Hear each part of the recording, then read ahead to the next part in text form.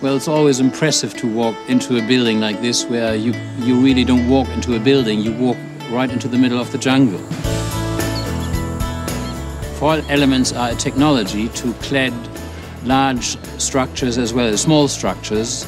For a project like the Eden Project, the foil elements are of a very important nature because they are UV transparent and plants need UV transparency to grow fast and to be healthy.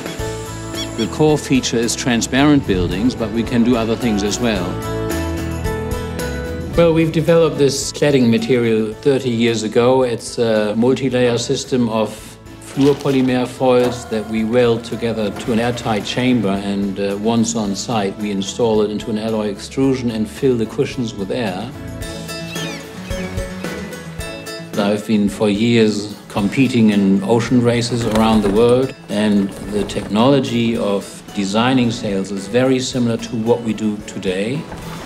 The technology that we have developed can only be done by a small and medium-sized company. You need to react fast, come up with a technical solution fast, and it helps a lot being a couple of friends, so you rely on each other very much.